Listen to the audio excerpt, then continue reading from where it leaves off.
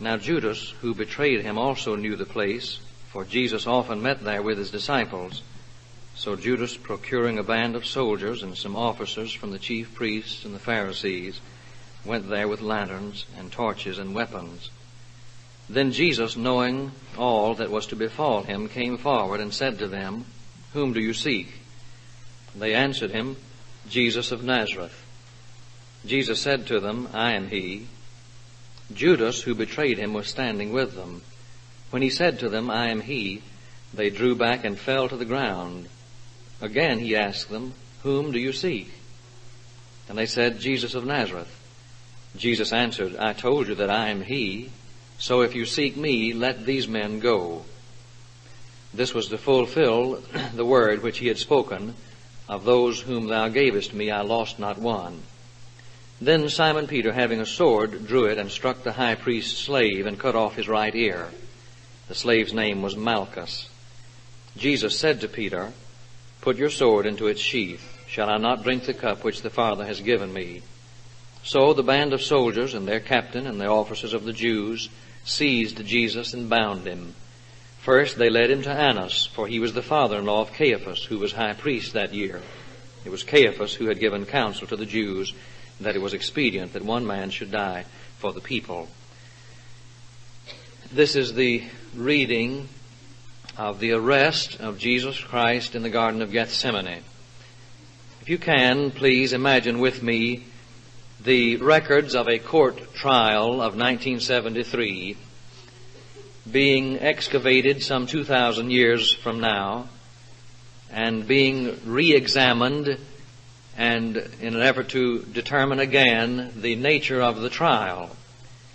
There have been many excavations of such records in archaeology, and these records have dealt with various subjects, but had they dealt with a man's life, it would have been altogether proper, and I suspect inevitable that the question would be burning in the minds of the investigators what was the real issue against this man? What was the real case against the prisoner?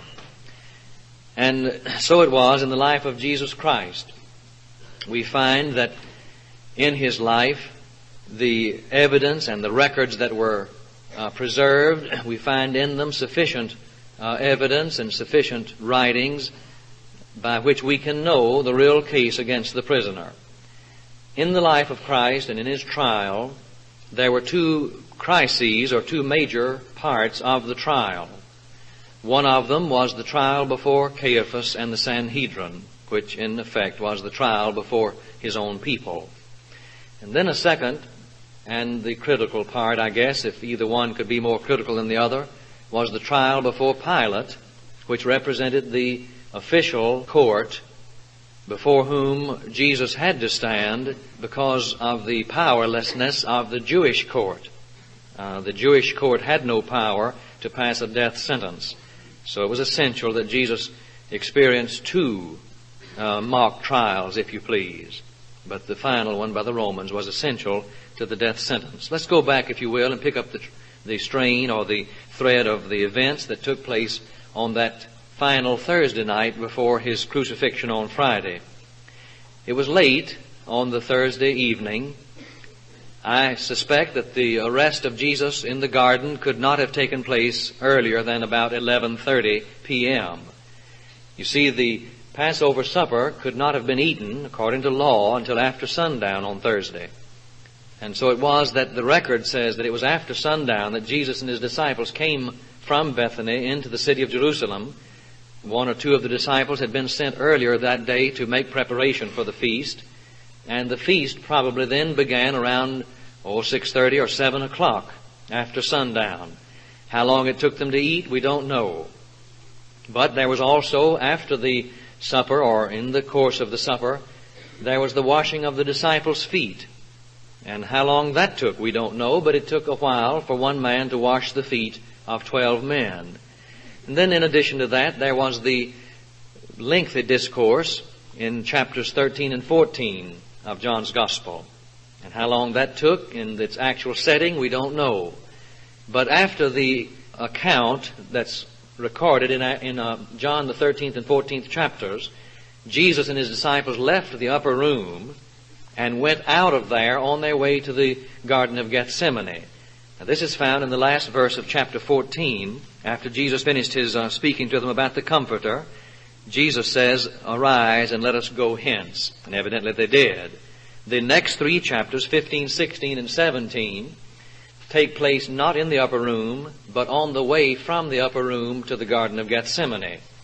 And he talks there about being the true vine and many other things that he discusses as they're on their way from the upper room to the Garden of Gethsemane. The 18th chapter in verse 1 gives us to understand that it was after Jesus finished all these sayings of the preceding three chapters, when Jesus had spoken these words, he went forth with his disciples across the Kidron Valley, where there was a garden which he and his disciples entered. Once having arrived in the garden, John does not record the period of travail and sorrow that Jesus experienced in the garden. We'll have to turn to the, uh, to the synoptics in order to get that detail. But when we turn to the synoptics, we find, as you are familiar with, we find the threefold prayer of the Lord. He and Peter, James, and John left the major part of the disciples and went on a stone's throw or so away. And then he went on another short distance away and began praying. He made this special appeal to God three times. Let this cup pass away from me. If it be your will, let it pass from me. Nevertheless, not as I will, but as you will. And he prayed this prayer three times, each time returning to his disciples, and each time finding these three disciples, Peter, James, and John, fast asleep. On the third occasion, when he returned, and was talking with them, and it seems was hurt and disappointed that they could not at least watch with him one hour.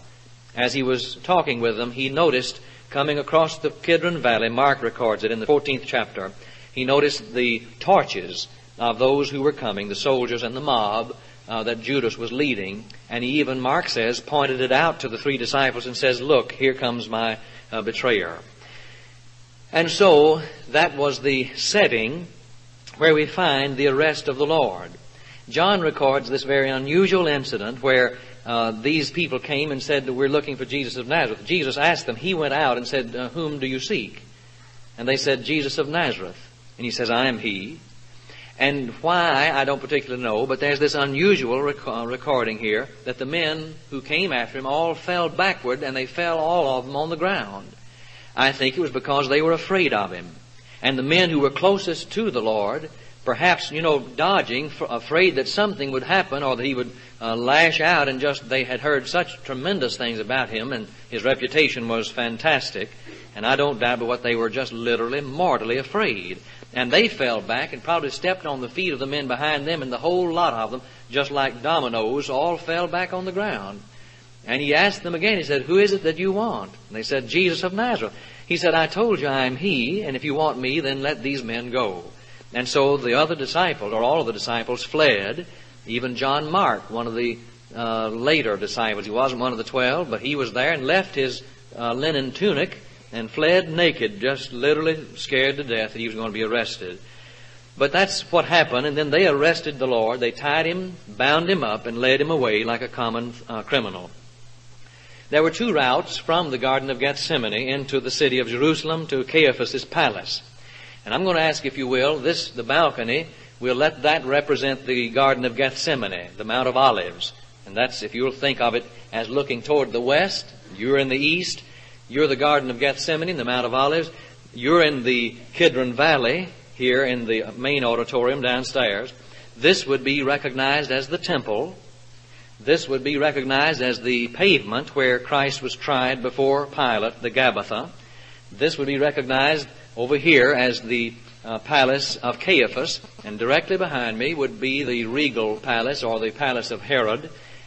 And this is the general layout of this whole arrangement. The whole scene is laid out in this way, and you can get an idea about the arrangement of it from what I've said just now. There were two routes that could be taken from the Garden of Gethsemane on Mount Olives to the place where he was tried at, at Caiaphas's palace. One was to follow the main road from Bethany and go north through the Tyropoeon Valley and what is called, or New, was called Newtown, and on up past the Herodian palace, and on down then toward the to the palace of Caiaphas.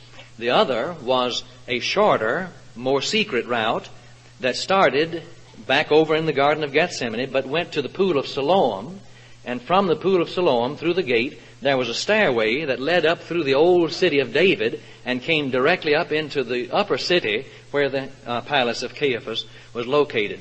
And more than likely, because of its secrecy and because of its being the shorter route of the two, I suspect that that was the route that they took Jesus as they led him away to be tried before Caiaphas. The trial before Caiaphas took place in the wee hours of the morning. We don't know exactly when, but if the arrest of Jesus took place around 11:30, it was after midnight by the time they came to the house of Caiaphas for the trial. There were many charges brought against the Lord before Caiaphas. There was what you might call a preliminary hearing, at which time the witnesses that had been secured and the house of Caiaphas and the Sanhedrin, they more or less had a public hearing, a preliminary hearing, where they tried to make the case against the Lord solid so that they could actually bring him to trial before the Sanhedrin. Matthew in the 26th chapter and Mark in, the 14th chapter mention that the priests and that the entire council tried to secure false witnesses against Jesus. But it says they found none, even though many false witnesses came. This is a bit unusual if many false witnesses came and yet they found no one that would be as a, uh, served as a uh, that would serve as a false witness, what was the problem? Well, Mark answers the question when he says that there was no agreement between the witnesses, or there were a lot of false witnesses that came, but the Jewish law said that there had to be a corroborating, uh, substantiating witness, that at the mouth of two or three witnesses everything would be established. And once they would get something established from the mouth of a false witness, then whatever corroborating evidence that they had would blow holes in it and there would not be the, it would, it would be rendered useless. So they tried back and forth, maybe for some hours, I don't know, trying to get a case that would be watertight against the Lord, but they couldn't. But there came then some evidence by a few people that came and said something that if it were proved against the Lord, it would be sufficient evidence to bring him the death penalty on the grounds of blasphemy and sorcery. And it was this thing that he said about the temple while he was in the temple. Or the reason why it didn't go through itself was that there was no agreement. Now Matthew and Mark record this uh, disparity. They record the differentiation or the difference between what one witness said and another witness. And the writer, Matthew, I think it is, or perhaps Mark, says that there was no agreement. There, there was, there was a disparity between the, what the witnesses said. For example, in Mark, Mark records that segment of the witnesses who said that Jesus said, I will destroy the temple and raise it in three days. But Matthew records it and says, and records those witnesses that said, that said not that I would destroy it or will, but he said, I am able to destroy it. And there was that much difference that when it became public, that here they were, what they thought was their witness and what they thought was their case began to fall apart because there was this conflict between what some of them said and what others of them said to the point that the whole case seemed to be falling apart uh, in their face. And at that point, at that point, of course, what they were saying was what they were recording or reporting falsely what Jesus Christ had actually said back in John the second chapter after he had uh, cleaned the temple out, and they said, what, are, what sign do you show? Jesus said, destroy this temple, and in three days I will raise it up. Of course, they would have said that's blasphemy when he talked about the temple, and to raise it up in three days was sorcery. You couldn't have raised something up in three days that had already take 40, uh, taken 46 years to build and was still in the process of building. So, had he been proved to have said this, it would have been uh, sufficient cause for his death being uh, signaled on either one of these charges, that of sorcery or blasphemy. But then, this man Caiaphas was not one to be outdone. When the case seemed to be just literally falling apart, Caiaphas took charge and stood up and threw to the wind all pretense of legality. The trial itself was illegal from the start. It was illegal in the, in the uh, manner in which the arrest was made. And I'm not quite clear on why it was so illegal for the court officers or the, the army or the arresting officers, why it was illegal for them to go and arrest the man themselves, why it had to be brought, why he had to be brought in by the witnesses, I don't know. But there seems to have been a flaw or a bit of illegality there. Second, it was illegal to try a man for his life after sundown. The only trial that could be uh, conducted, I'm told, as I've read, was a trial regarding money and lawsuits regarding money and less important things, but never a trial of a capital nature. It could not be conducted except in the daytime. But a third thing was that once the witness, uh, the testimony of the witnesses had fallen through, and once it had been proven that the witness of these people was not reliable and that it was actually false testimony, the prisoner could not, by law, be cross-examined by the court. It was against the uh, Jewish law for that to be done. But Caiaphas, I suspect, and perhaps there had been precedent for this flinging to the wind, uh, this legality, I don't know. But whether with precedent or without precedent, Caiaphas turned to the Lord and began to serve as the chief prosecutor for the court and began to cross-examine Jesus Christ, and he began this direct confrontation of the Lord, contrary to Jewish law. And he just simply said to him, Do you have nothing to say for yourself? What is it that these men are witnessing against you? And Jesus Christ would say nothing. He just stood there. Caiaphas then, perhaps, and you can almost see the, the blood vessels and the veins in his face and his face flushing, as he turned to the Lord and said, I adjure you in the name of the living God Tell us if you're the Christ. And he here administers the great oath of the covenant, the most serious oath in the Jewish constitution. And it, the Mishnah says of it that if anyone says to you, I adjure you by the name of the living God, he says, the Mishnah says, you are bound to answer that. You cannot remain silent. So, though illegal it was, Caiaphas turned to the Lord and said, Tell us, by the name of the living God, I adjure you Tell us if you're the Christ. So if he answered it, he was in trouble. If he didn't answer it, he was in trouble. He knew who he was. But to make that claim before this audience meant that he would lose his life. And yet the oath of the covenant, or the oath of the testimony, was so serious that to refrain from answering it was also a breach, and I think it also carried with it a death penalty. At least it caused the person to be guilty whether he answered or whether he didn't answer. And so Jesus just answered the question. He said, I am the Christ. And Matthew and Mark and Luke, all three, record this statement, I am. And he said, not only that, you'll, from henceforth you'll see the Son of Man sitting at the right hand of power and coming on the clouds of heaven. Well, when this answer was given, and all three of the answers, though they were differing somewhat as they are recorded in Matthew, Mark, and Luke, they differ in intensity. Mark, the most brief of them all, just states what all of them meant when he said, I am the Christ. I am. And others said, You've said that I am. You say that I am, but Mark says I am. He records the Lord as saying that. And then Bedlam broke loose, and you can just imagine all the rumblings and all the murmurings and all the gaspings. And then this hypocrite stood up there, Caiaphas, and tore his garments and said, What further need do we have of witnesses? We've heard him with our own ears. What's your, what's your sentence? What do you think? And they said, He's guilty of blasphemy. He's worthy of death.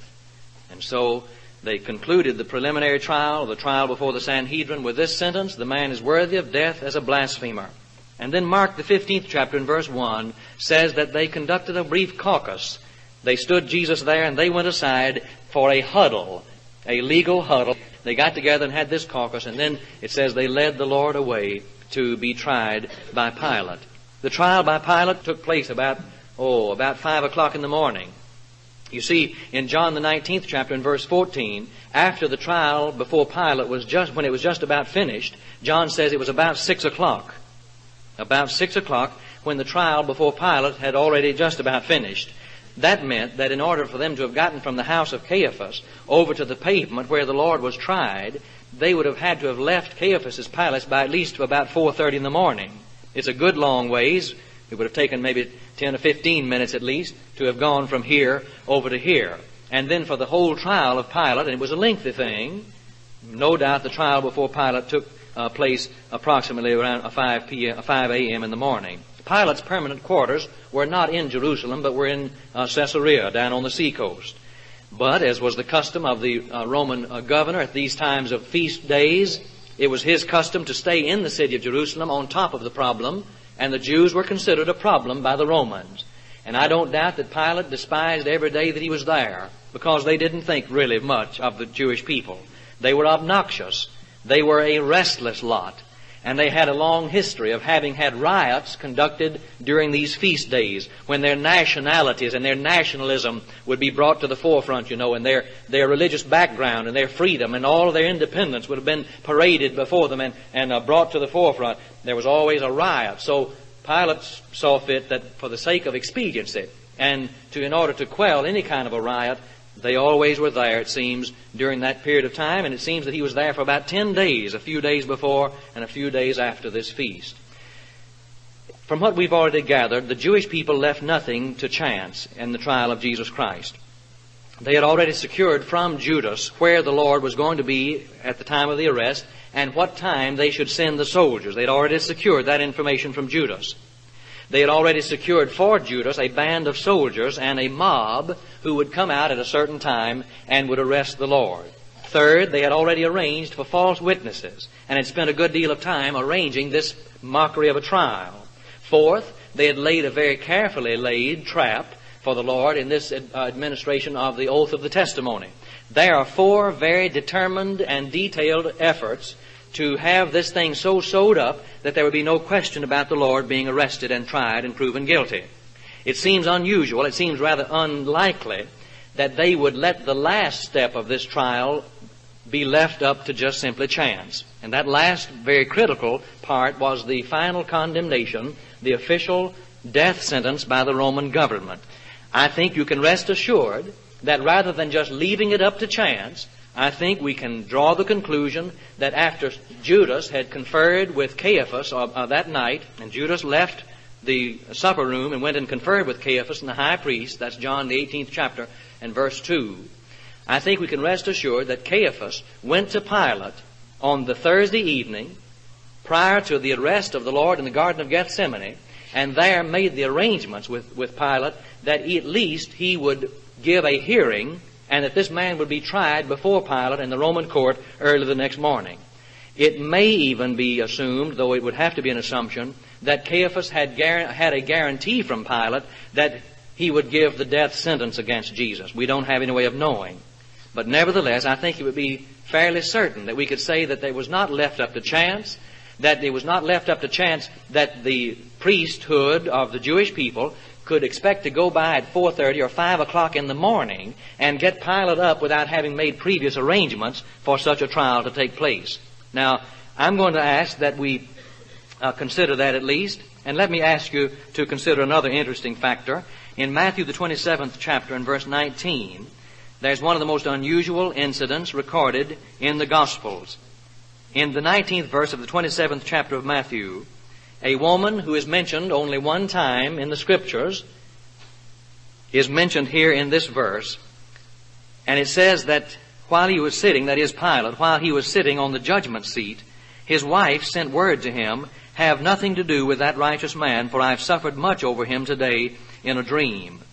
Now, in effect, this woman, whose name is Claudia, she's not named in the scriptures, but Josephus names her, and other records name her, of course, in the uh, records of the first century as being the wife of, of Pilate. This woman, Claudia, had a nightmare about Jesus Christ the night before he was to be tried. Why? Well, I don't know. The name of Jesus, of course, had been banded back and forth, and it had been pitched here and there probably all that week. And it may be that she was well aware of what was going to happen.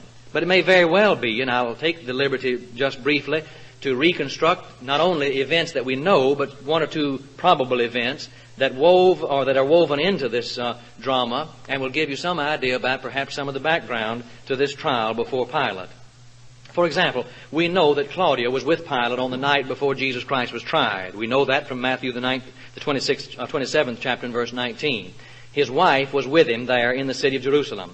Second, we know that Judas had left the supper room after the supper and after the washing of feet, he had left the supper room and had made final arrangements with Caiaphas and the high priests about where Jesus Christ was supposed to be, how he was to be pointed out as being this man, Jesus of Nazareth. Judas was going to kiss him.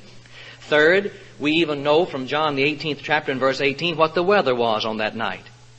John records that it was cold, cold enough for a fire, and Simon Peter and the soldiers of the Roman army, well, maybe not the Roman army, but the I'm not, we don't know who, I don't know who they were, just the, the soldiers. There are two kinds of soldiers, the Jewish temple court soldiers and then the Roman soldiers. I'm not just sure right now who these were. But anyway, it was cold enough they were standing around warming their hands around a fire. We know these things. I think it, at least we'll presume this, and we'll surmise that after the final arrangement that uh, Judas made with Caiaphas, and after that part of the arrangements were secured, I believe that it's fully uh, logical that Caiaphas went to Pilate after he had met with Judas and made the final arrangements with Pilate in order to secure the trial and perhaps even the death penalty upon Jesus Christ early the next morning. Now, it's surmising, I know, but perhaps it could have happened like this. Perhaps Claudia and Pilate himself were both sitting before a fire, much like Simon Peter and the soldiers were sitting before the fire out in the courtyard at the high priest's house. And if they were sitting there, I don't know whether Claudia knitted or what. I don't know what she was doing. But I suspect Pilate was just twiddling his thumbs. I suspect he had rather been back down in Caesarea. But then perhaps the soldier came and said, uh, Sir, there's a high priest, the Caiaphas, the high priest, is wanting to see you. So Pilate up, uh, gets up and goes out and has a conference with this man, Caiaphas, the high priest. He stays out there for a while and makes whatever agreement is to be made and comes back in and sits down. From your knowledge of women, how long do you think it would have been before Claudia said, What was that all about? Well, of course, we're supposing, but if it took place like that, it wouldn't have been very long before she asked him, Well, now, what was that about? And Pilate then telling her that it was about Jesus of Nazareth. The Jews are wanting a sentence against him. They are planning to arrest him tonight, and they've asked me to hear the case early in the morning, and that's and I've agreed to do so. With that on her mind, she went to bed. We know also now for sure that early the next morning, when she awoke about five o'clock, she saw that Pilate was not in bed with her. She hurriedly wrote a note because she knew where he had gone. She, he had gone to the pavement to judge this man. She hurriedly scratched a note on a piece of uh, papyrus or whatever and sent it by a messenger to Pilate and said this, don't have anything to do with that righteous man. I've suffered many things because of him today in a dream. But it was too late. Little did she realize that while she slept, the Jewish leaders of the people had so securely fixed the death sentence upon Jesus and had so securely fixed a trap for Pilate that neither the Jesus Christ nor Pilate would be able to get out of it. And so Jesus Christ came before Pilate and the guilty verdict was as certain as he was standing there. Pilate, it seems, tried to release Jesus. In fact, the oh, the 18th chapter and the 19th chapter of, uh, of uh, John indicate and show without any doubt determined effort that Pilate made to release Jesus. I don't know whether, I just can't say that we can't put it all together, but it seems that Pilate perhaps backed down from his former commitment.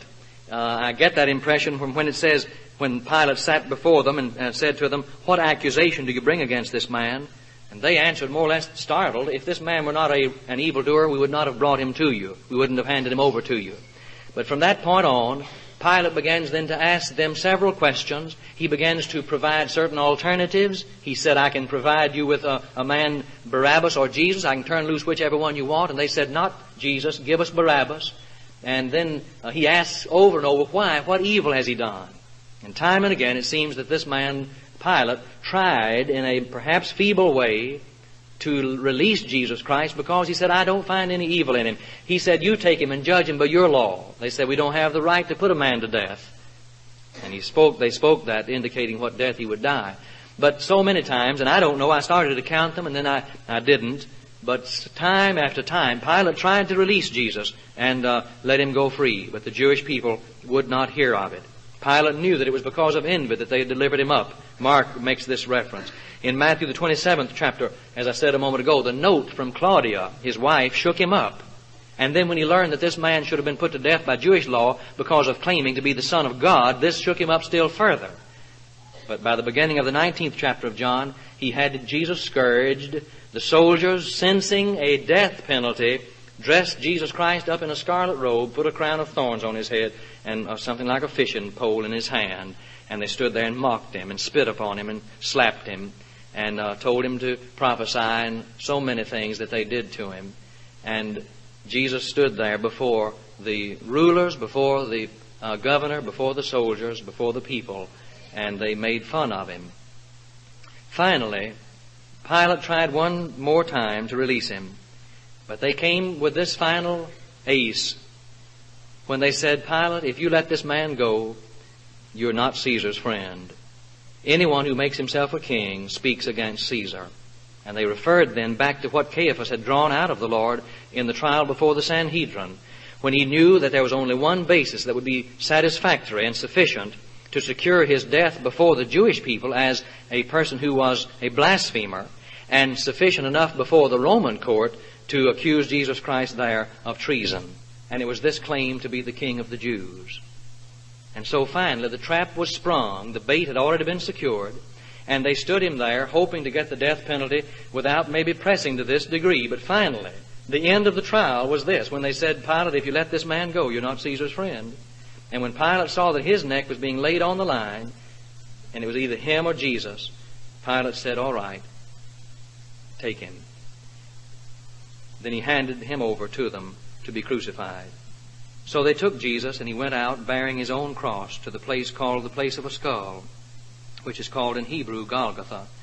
There they crucified him, and with him two others, one on either side, but the tunic was without seam, woven from top to bottom. So they said to one another, Let's not tear it, but cast lots for it to see whose it shall be. This was to fulfill the scripture. They parted my garments among them, and for my clothing they cast lots. So the soldiers did this. But standing by the cross of Jesus were his mother and his mother's sister, Mary, the wife of Clopas, and Mary Magdalene. When Jesus saw his mother and the disciple whom he loved standing near, he said to his mother, Mother, behold your son. Then he said to the disciple, Behold your mother. And from that hour the disciple took her to his own home. After this, Jesus, knowing that all was now finished, said, to fulfill the scripture, I thirst. A bowl full of vinegar stood there. So they put a sponge full of the vinegar on hyssop and held it to his mouth. When Jesus had received the vinegar, he said, It is finished. And he bowed his head and gave up his spirit.